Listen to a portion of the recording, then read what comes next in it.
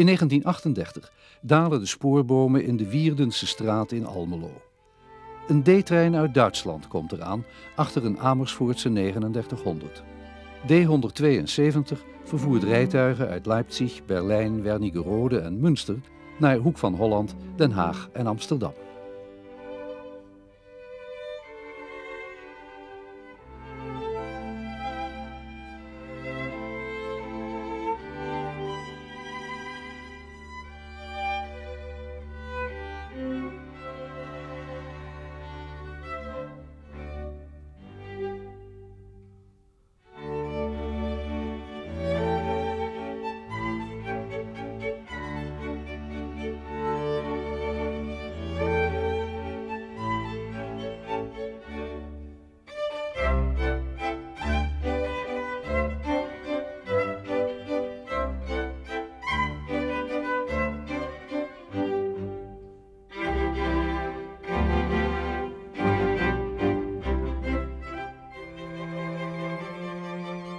Nog een jaar eerder zijn we in Groningen, waar een jumbo binnenloopt met een trein uit het westen.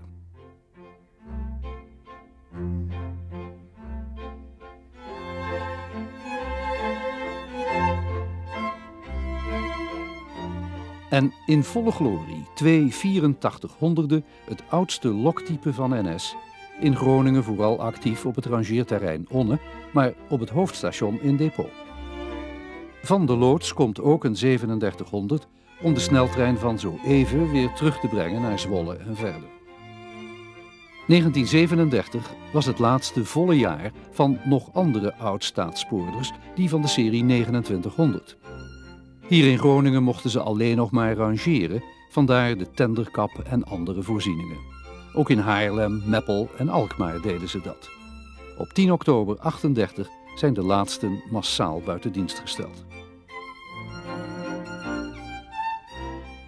Nog even een vooroorlogsnufje hoofdstad. Een 6000 komt met een trein voor de Gooilijn door het gloednieuwe station Muiderpoort. Bus A heeft daar nog zijn oude gezicht. Op de Utrechtse lijn zijn de stroomlijnstellen al helemaal thuis.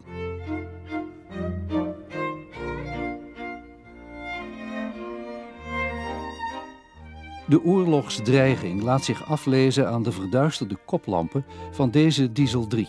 En het is volop bezettingstijd wanneer tientallen elektrische motorwagens met z'n tweeën of drieën tot zogenaamde trekkrachten geformeerd goederentreinen vervoeren. Hier dendert er een door station Leiden.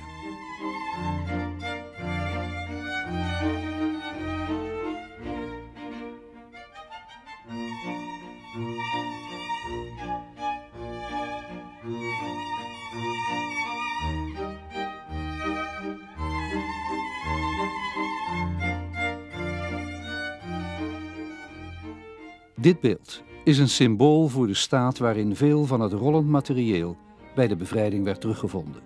Vandalisme. En er waren niet eens voetbalevenementen. Tot de eerste reizigerstransporten in mei en juni 45 hoort het vervoer van Nederlandse dwangarbeiders uit Duitsland naar eigen huis en haard. Opgepakt bij razzia's of al dan niet gedwongen aangemeld bij de arbeidseinsatz waren hun hongerwintermaanden meestal afschuwelijk. Vele lijnen waren onderbroken, onder andere door vernielde bruggen. En met een variatie op een hedendaagse term, NS zet vrachtwagens in. Die trucks van de geallieerde legers reden bijvoorbeeld tussen Geldermalsen en Den Bosch. Al gauw kwamen er echte bussen. De laatste vervangingsbusdienst reed overigens pas in 1953. Ook in het zo geteisterde Rotterdam komt er weer spoorwegverkeer op gang, al toonde de scène nog meer stop dan een ander beeld. Een goede indruk van het spoorbedrijf in najaar 45 bieden deze scènes in Utrecht. Alles wat maar kan rijden, rijdt. En dat is veel te weinig voor het overweldigende aanbod. Opgepropt zitten in een remmershuisje is veel comfortabeler dan hangen op een tochtige treeplank als je zo'n plaats al kunt krijgen. En dat leidt vaak tot knap gevaarlijke situaties.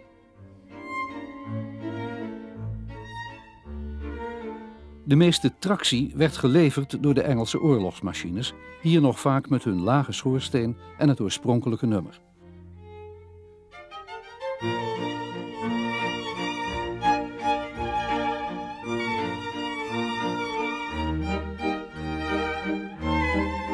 Maar niet alle NS-loks waren buiten dienst. Een 1700 doet alweer mee in het nog trage treinverkeer. De maximumsnelheid kwam zelden boven de 65 km per uur uit. En dat betekende dat in reizigerstreinen goederenwagens konden meerijden.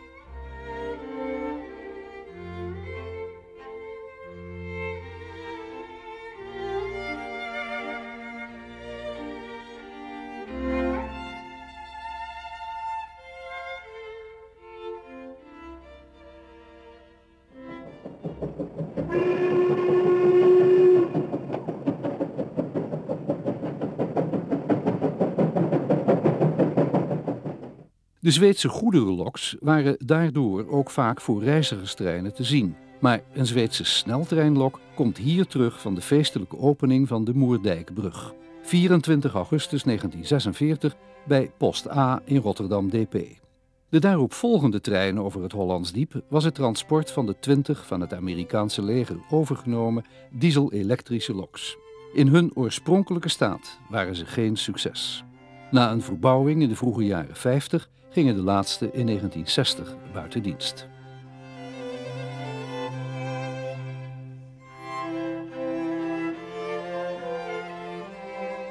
Wat komisch, na dit tractiegeweld made in USA doet het laatste voertuig aan. Een Nederlandse SIK. Al ruim 20 jaar werd bij NS over elektrische locomotieven gedacht. In het begin van de oorlog was zelfs een eerste order goedgekeurd. Nu, na de bevrijding, deed men eerst ervaring op met een Frans en een Engels type, voordat de eerste tien eigen loks op het toneel verschenen.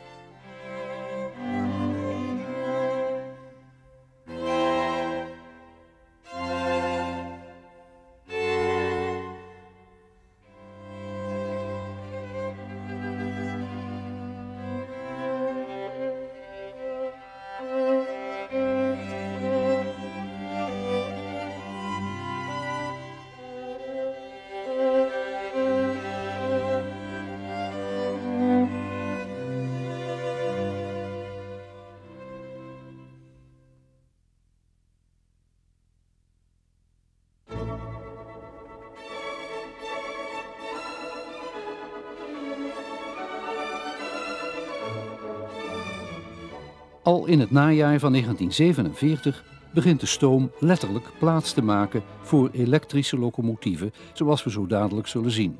De stoomlok gaat eraf, de e-lok komt ervoor.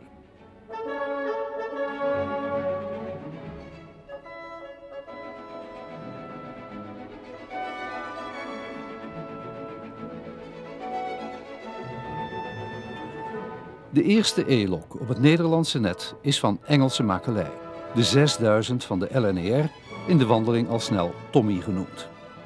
Dankzij een filmende NVBS'er kunnen we een rit meemaken op Tommy van Eindhoven naar Utrecht.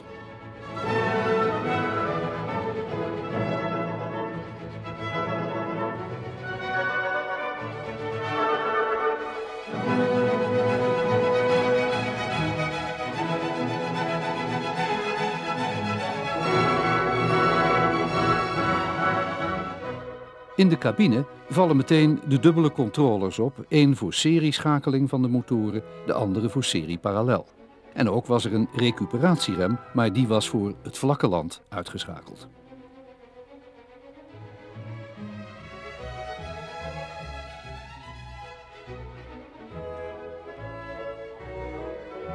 Het is voor ons nu vooral interessant te zien wat men in 1947-48 al zo aan treinen tegenkwam op de Noord-Zuidverbinding.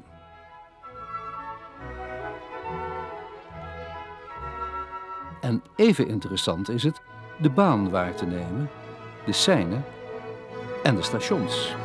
Dit is Bokstel.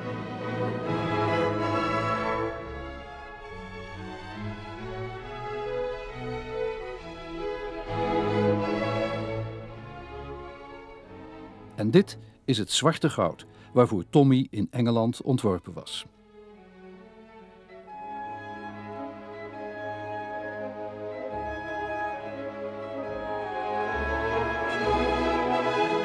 Nu we dan toch een cabinekaart hebben, kunnen we ook even waarnemen hoe de OMBC bestuurd werd. Of een diesel-elektrisch vijfwagenstel. In een heel andere streek van het land nu. Van Dieren-Doesburg onderweg naar Apeldoorn tijdens een NVBS-excursie met Engelse vakbroeders.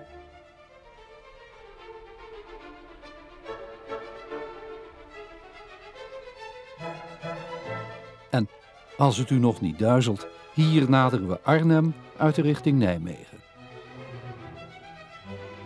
Hier vangt de camera na een buffertreinstel voor de dienst naar Amsterdam nog twee buitenlanders die NS er na de oorlog weer bovenop hielpen. Een Zwitser van de serie 3500 en een Jeep, maar dan een met vijf drijfassen, serie 5000. Een variëteit aan andere ontmoetingen uit deze jaren. In Amersfoort een 4000, bij Sittard een 9500. En het vertrek van het Amsterdamse deel van de Holland-Scandinavië-express achter een 2100 met een lok uit dezelfde serie voor een trein van Alkmaar naar Den Helder voordat de diesel 3'en hier de dienst overnamen. Een 3900 zien we in Rotterdam Beurs, kort voordat de naam zou veranderen in Blaak.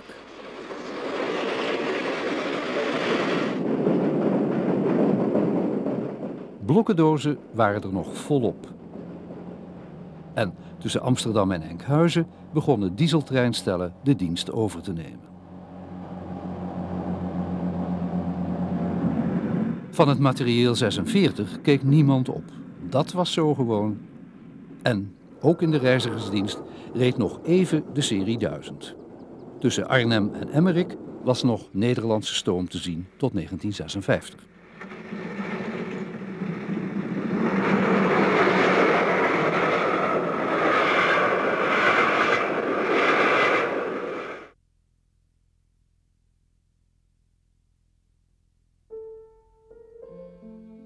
Een wel heel opmerkelijke vorm van exploitatie ontstond in 1953 op de Zeeuwse lijn als gevolg van de watersnoodramp.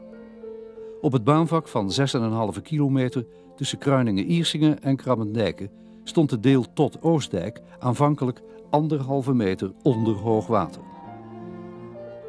Door het aanbrengen van een bekisting voor één spoor kon het verval van het baanlichaam door het water tot staan worden gebracht en wel zo dat bijna drie maanden na de ramp, op 21 mei, een getijdendienstregeling voor goederentreinen kon worden ingevoerd.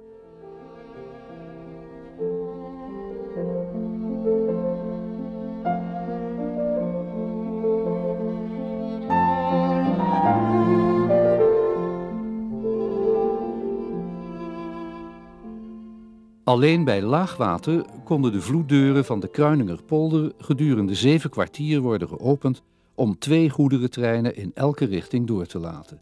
Plus de ene dag een zandtrein voor de Sloedam en de lege wagens daarvan de volgende dag terug. Dit alles maar één keer per dag, want bij duisternis werd niet gereden.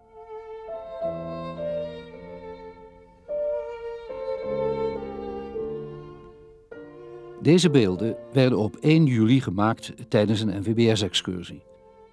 Wie de troosteloze aanblik ziet van dit stuk Beverland, zal begrijpen dat bij harde wind de vloeddeuren dicht bleven en dat er dan ook geen treinen reden.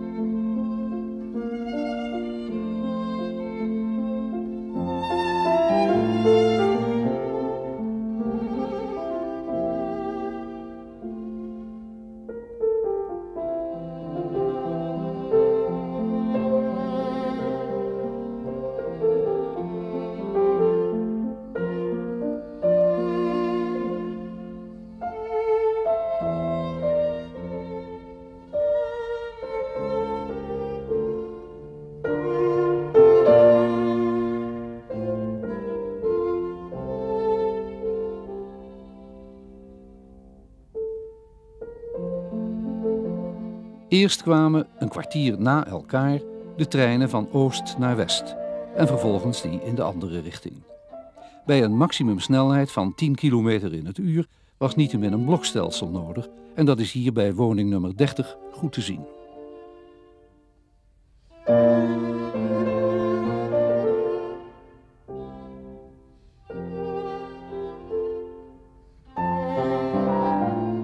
Niet meer dan vijf weken later, op 3 augustus, was de volledige treindienst op de Zeeuwse lijn hervat. Met deze beelden op het netvlies is dat nauwelijks voor te stellen.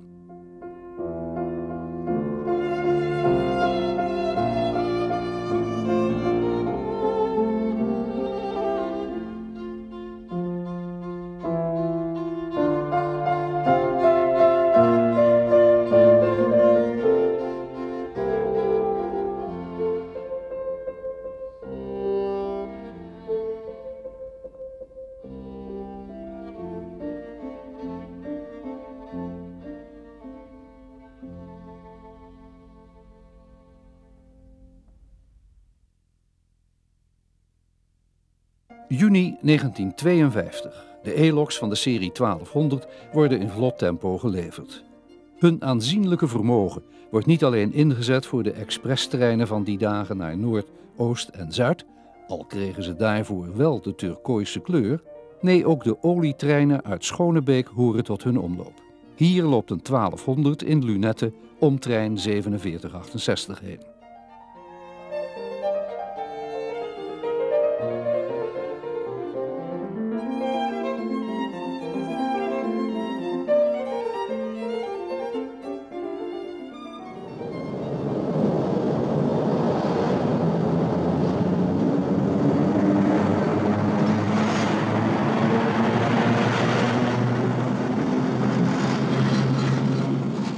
Op zijn weg naar IJsselmonde rijden wij een klein stukje mee. Eerst ontmoeten we een losse 4700 en bij de oude diesellords van Utrecht CS nog twee late Duitse herinneringen. Na de bevrijding nooit meer gebruikt.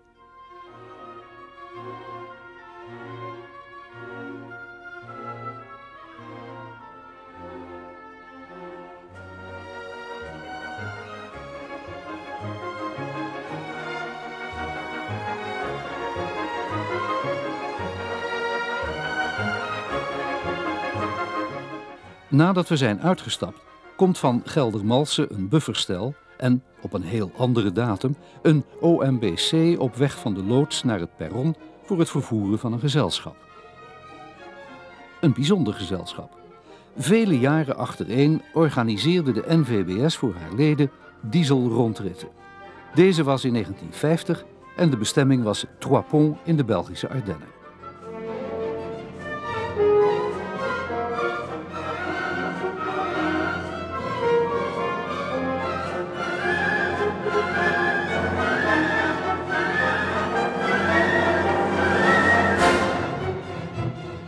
Utrecht was vanaf 1934 een centrum voor de inzet van diesel-elektrische treinstellen.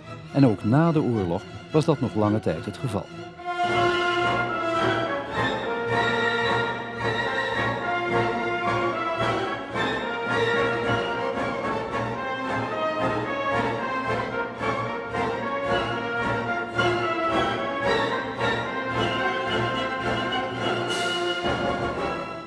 Oudere motorrijtuigen vertoonden zich hier. Bijvoorbeeld in 1946, toen dit koppel tweemaal per dag een retourrit maakte naar Den Haag SS voor het vervoer van geëvacueerde ambtenaren. De huizenschaarste was tenslotte nog huizenhoog.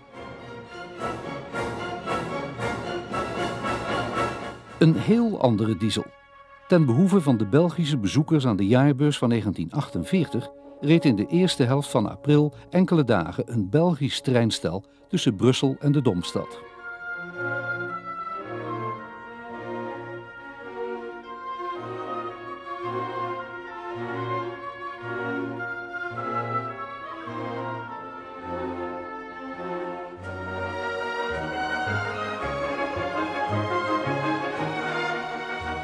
Het zou nog maar een paar maanden duren of ook de lijn Den Dolder-Baren was geëlektrificeerd. Hier komt een 5500 nog met een traditionele lokaaltrein aan op de buurtsporen.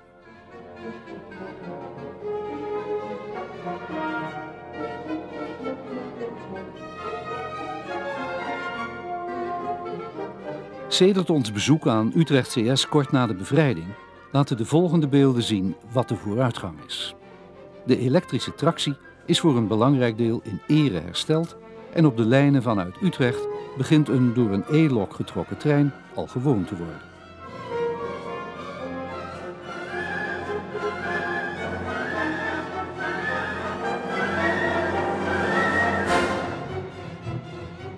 Maar ook helpen buitenlandse stoomloks nog mee aan de verdere wederopbouw. Van de Zwitserse spoorwegen werden 22 sneltreinloks overgenomen, die veel in Utrecht te zien waren. Hier vertrekt zo'n 3500 met een trein waarvan de eerste drie rijtuigen wel zeer lang geleden in de T-treindienst begonnen.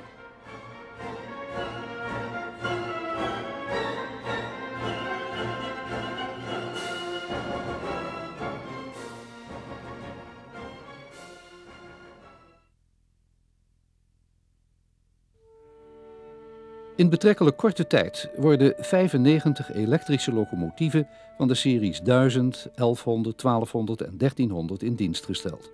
Wat later nog 15 erbij. Meer dan 45 jaar zullen die een duidelijke rol spelen in de tractiegeschiedenis van NS.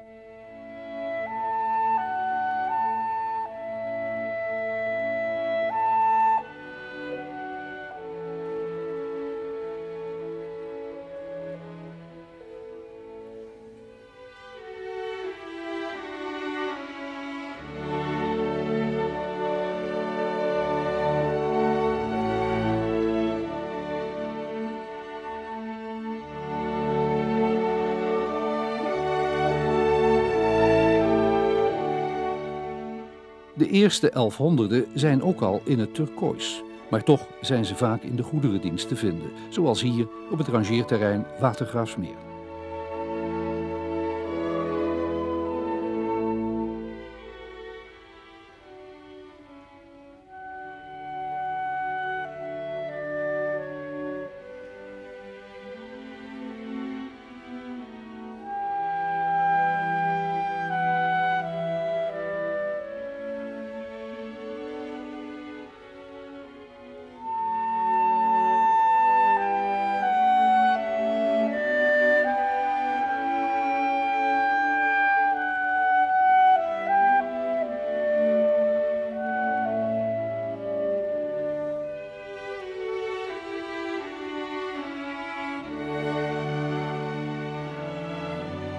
Staat die trein eenmaal stil, dan kan de treinlok eraf. De oplettende kijker zal het opvallen dat dit een andere lok is dan zo even, maar ja, de particuliere camera draaide in die tijd maar kort, film was duur. De heuvellok kan nu aan de gang. Een van de drie overgebleven 9500 die van 1951 af nog twee jaar op de meer hun tijd uitdienen. De plakbriefjes vertellen waar elke wagen heen moet. De basisgegevens van het sorteerproces dat het heuvelen nu eenmaal is. Om niet voor elke wagen steeds de wissels te moeten omzetten, dat vertraagt, kende het proces een begin van automatisering. Na het steken van pennen in een stappenschakelaar nam het mechaniek een deel van het mensenwerk over.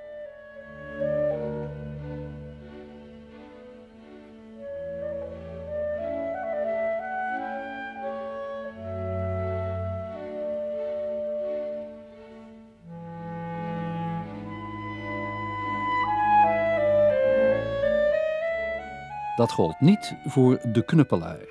Hij kende hetzelfde verhaal als de stappenschakelaar en wipte steeds na de juiste wagen de koppeling los. Want soms moesten twee of meer opeenvolgende wagens naar hetzelfde spoor.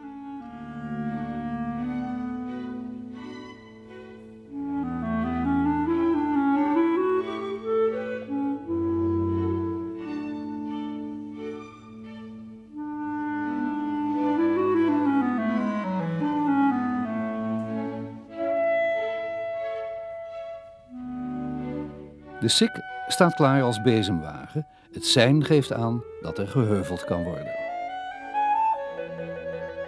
En dan komt het moeilijkste. Elke wagen met de hydraulische railrem zo vertragen dat hij niet te vroeg stilstaat en ook niet met een dreun tegen zijn voorganger opknalt.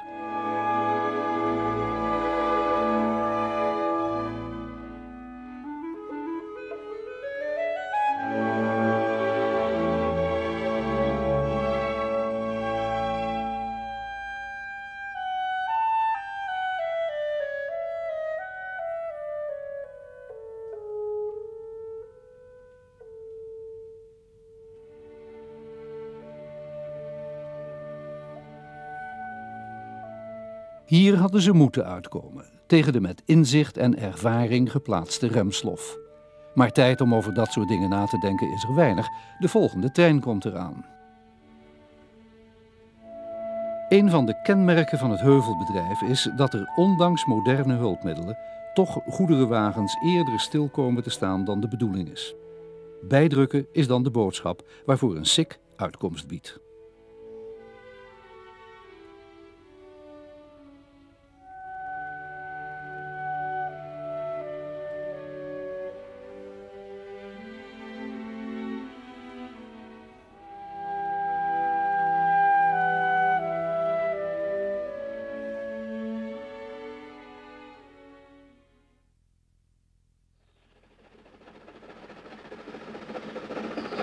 Vlak bij de Watergraafsmeer was in Amsterdam nog meer te genieten. Een 4000 brengt een sneltrein naar Noord of Oost op snelheid door station Muiderpoort.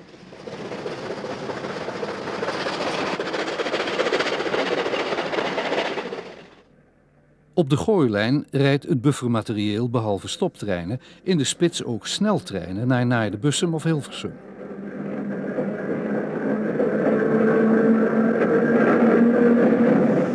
De serie 3400, die hier in de goederendienst heel lang zo'n alledaags gezicht was geweest, verdween al snel naar het oosten van het land om de olietreinen uit Schonebeek te rijden.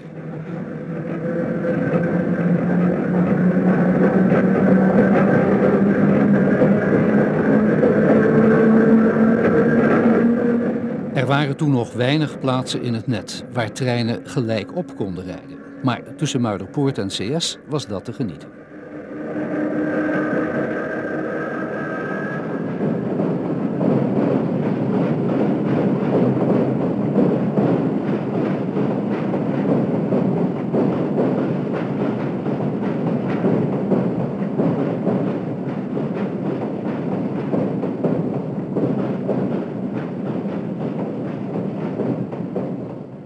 Cameraman nam even de tijd om buiten het CS te kijken, zodat we een gloednieuwe drieasser op lijn 26 kunnen zien.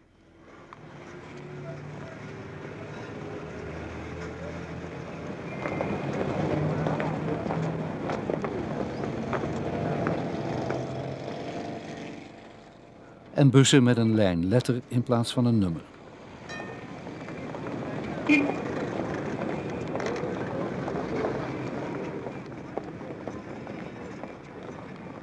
Anders dan in de samenleving is een spoorwegpolitieman geen verkeersregelaar, al zou dat soms wel nuttig zijn geweest.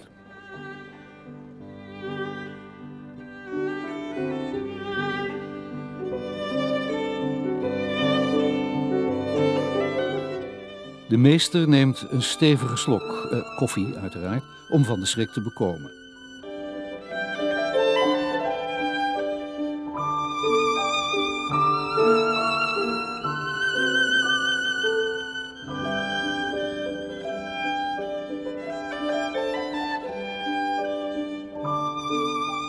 En een verbogen pantograaf buig je niet zomaar even recht.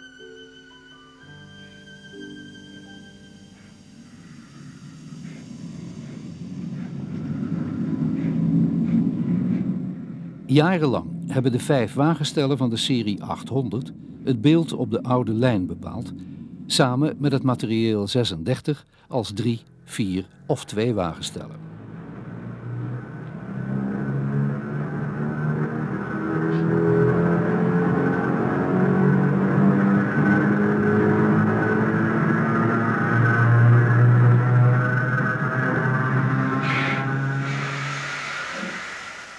OMBC's zag je hier als inspectierijtuig of op hun weg naar de centrale werkplaats Haarlem.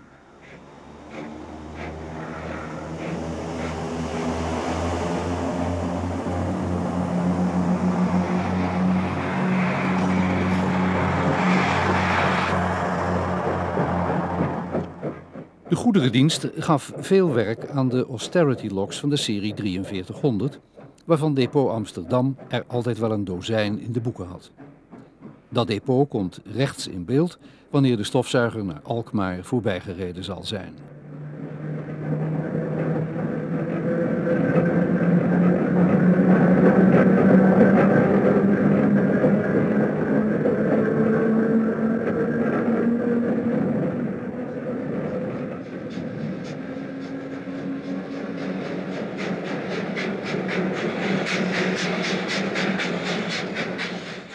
Eerdere datum is deze opname op het westelijke eiland.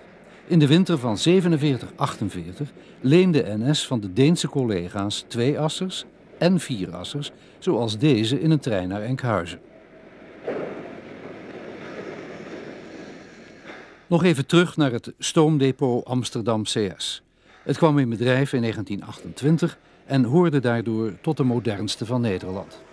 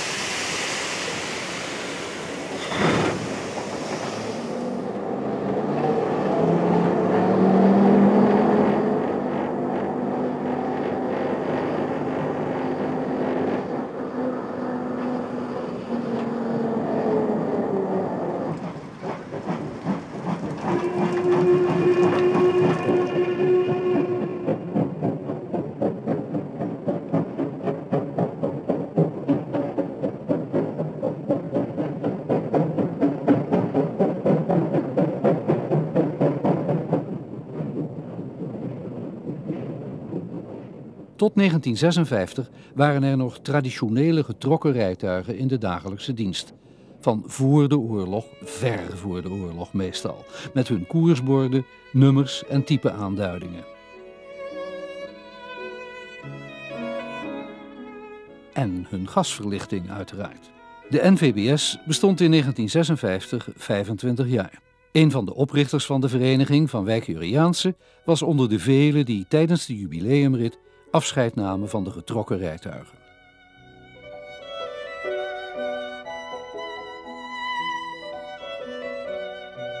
Tot de elektrificatie van de lijnen naar Twente, Groningen en Friesland waren op het oostelijke eiland van Amsterdam CS de sneltreinen achter een 3900 of 4000 dagelijkse kost.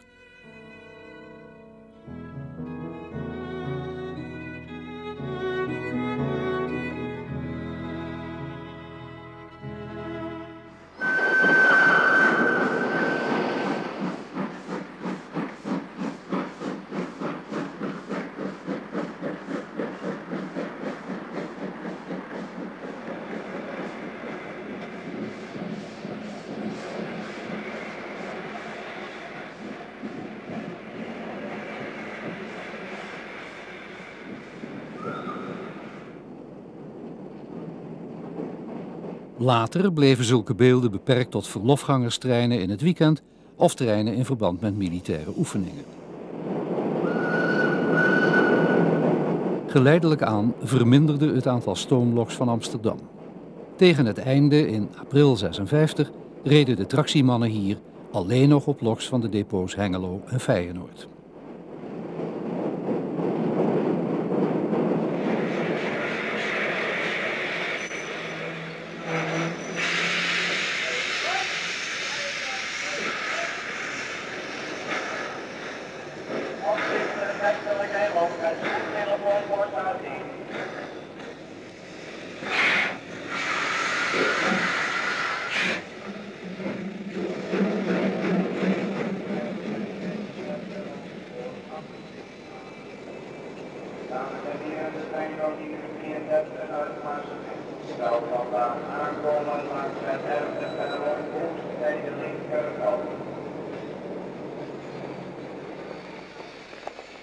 De begrippen treinen en reizen zijn onverbrekelijk met elkaar verbonden. Voor ver weg en lang of alleen maar voor een dagje naar zee. In 1955 reed het materieel 24 nog naar Zandvoort.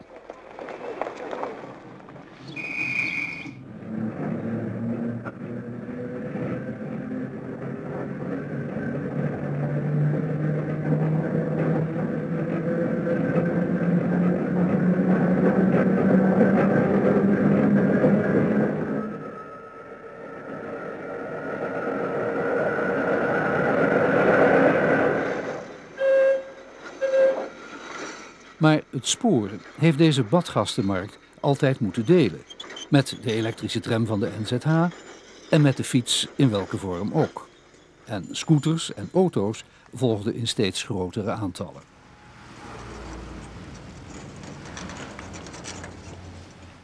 Vanaf Overveen is de lijn tot 53 nog altijd enkel spoor.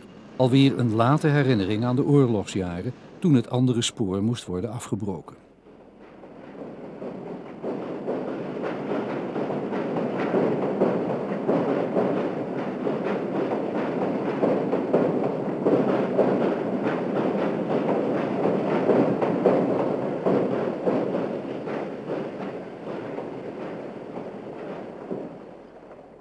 Maar wie dat liever deed, kon ook met stoom naar de Noordzeekust. Met bello.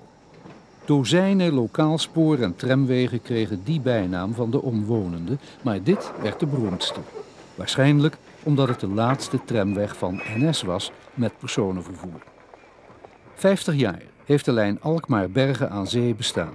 Sedert 1 september 1955 is ze al gesloten.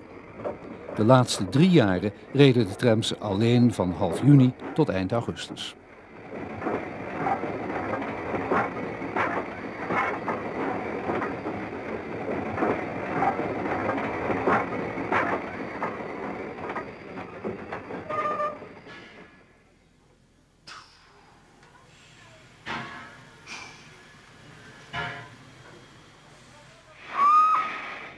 Na vertrek uit Alkmaar stuiten we als het ware op het Noord-Hollands kanaal.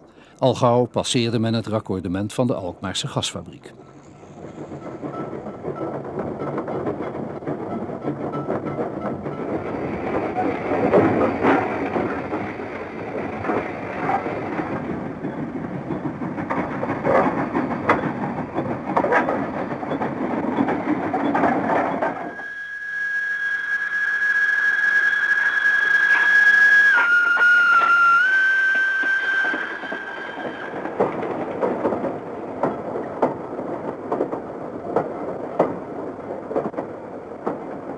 De Bergense tram had al lang concurrentie van de bus van de NHDO. Over enkele weken heeft die het Rijk alleen.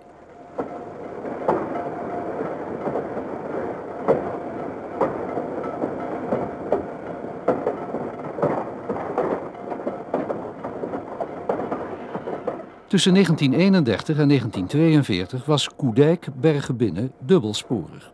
In die jaren reden in het hoogseizoen dan ook 30 slagen per dag. Nu, in het laatste jaar, nog maar 18.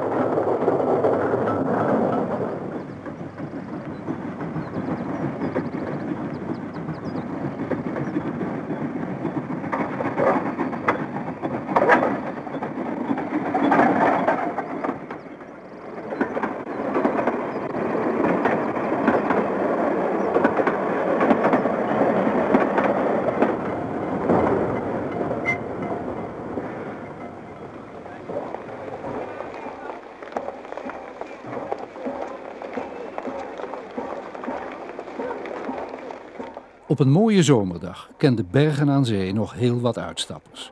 Maar wie zich daardoor rijk rekent voor de toekomst, moet even het parkeerterrein in de gaten houden.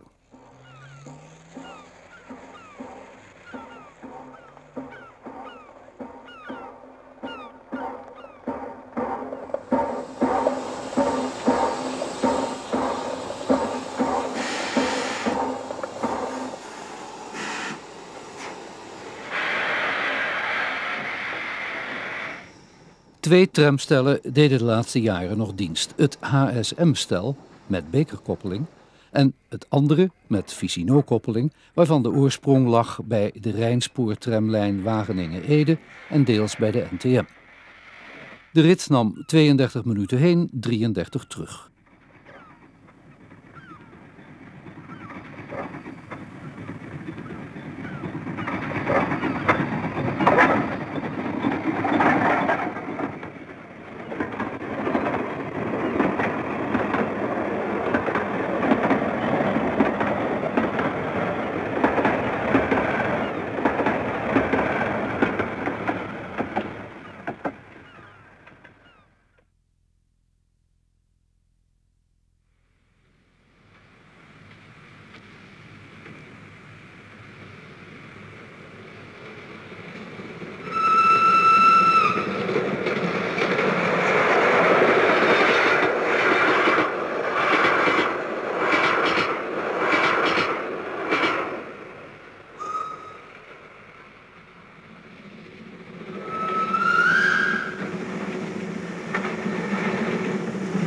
Een hoofdlijn die betrekkelijk laat werd geëlektrificeerd was Eindhoven-Venlo.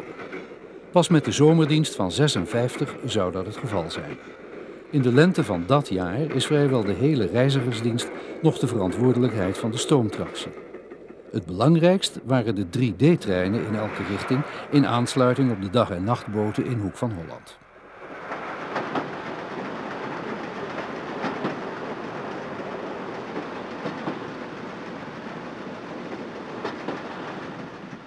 Deze aankomst in Helmond gaat wat ontstuimer. Het vuur is enthousiast gestookt, de veiligheid blaast met volle kracht. Het remmen is brusk. Nog twee keer zo remmen en de tender is leeg. Maar de stoker heeft er kennelijk zin in, want al staat de trein nog stil, hij is toch alweer op de schop, getuige de zwarte rook.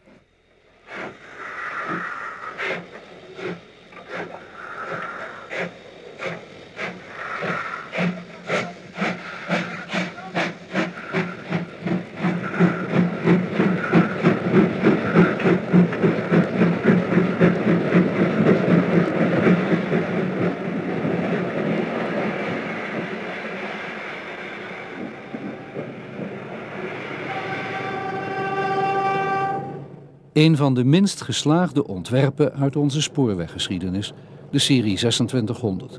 De bijnaam van deze zes locomotieven was Beel, naar het hoge voorhoofd van een minister-president uit die jaren. Nog geen vijf jaar hebben deze loks dienst gedaan.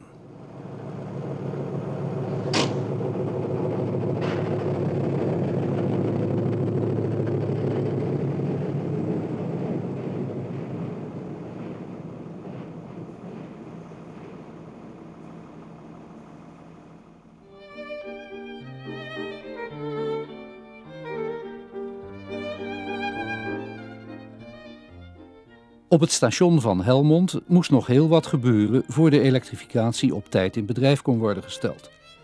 Wie de acrobatiek ziet bij het plaatsen van de bovenleidingportalen kan niet anders denken dan dat de arbeidsinspectie een dagje vrij had.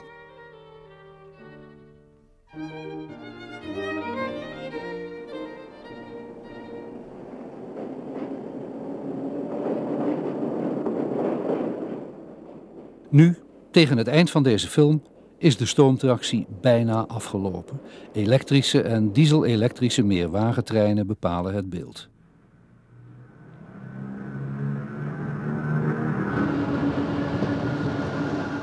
Evenals de E-loks en, maar niemand filmde die nog, de dieselloks 2200 en 2400.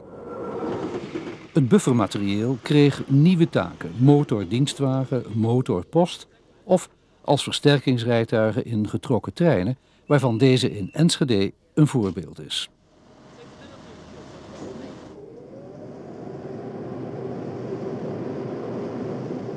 Vanaf dit moment in de spoorweggeschiedenis gaan ook de hondenkoppen en de blauwe engelen het beeld bepalen. Onderwerpen voor een volgende film.